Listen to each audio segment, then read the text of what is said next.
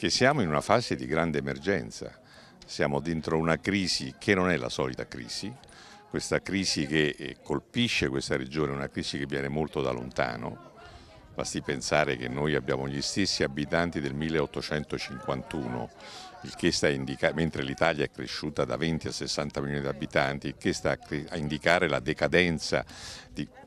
diciamo, demografica, però che è decadenza anche economica, sociale e culturale alla fine di questa regione. Quindi da questo punto di vista noi siamo assolutamente consapevoli del fatto che o si cambia e si cambia radicalmente direzione o altrimenti questo Molise rischia di non avere una via di uscita e soprattutto rischia di non avere una classe dirigente che abbia la consapevolezza della radicalità dei problemi che abbiamo dinanzi.